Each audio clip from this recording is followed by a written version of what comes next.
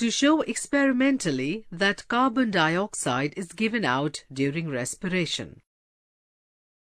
Respiration in animals. Materials required. Freshly prepared lime water in a test tube. Cork with two holes. Glass tubings bent at 90 degrees. Procedure Take half-filled test tube with freshly prepared clear lime water. Fix the cork in the mouth of the test tube. Fix the glass tubings A and B in the cork such that end of glass tubing A is dipping in lime water.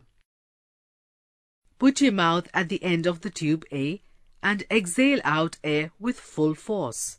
Pass exhaled air vigorously for at least one minute.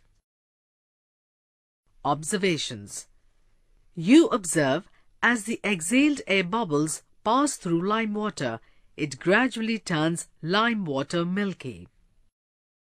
Conclusions As the clear lime water turns milky only with carbon dioxide, therefore, we can say that carbon dioxide is present in the exhaled air and is produced by the process of respiration.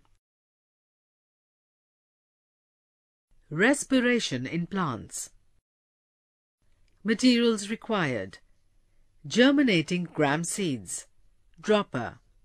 Conical flask, cotton thread, glass tubing bent twice at right angles, small test tube, cork with one hole, potassium hydroxide solution, 100 cc beaker half filled with water, Vaseline. Procedure Place about 50 germinating gram seeds in a conical flask.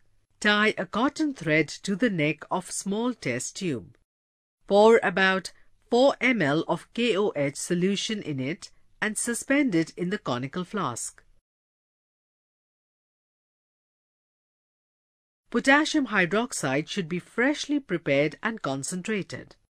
Close the mouth of conical flask with a cork in which a delivery tube is fitted such that thread tied to the small test tube is held firmly.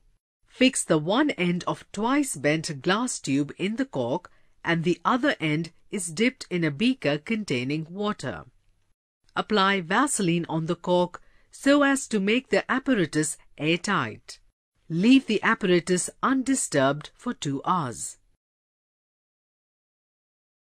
Observations After 2 hours, the level of water in the delivery tube rises up as compared to level of water in the beaker.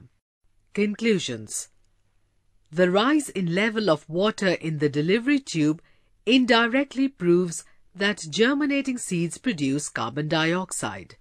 The carbon dioxide produced by germinating seeds is absorbed by the potassium hydroxide solution.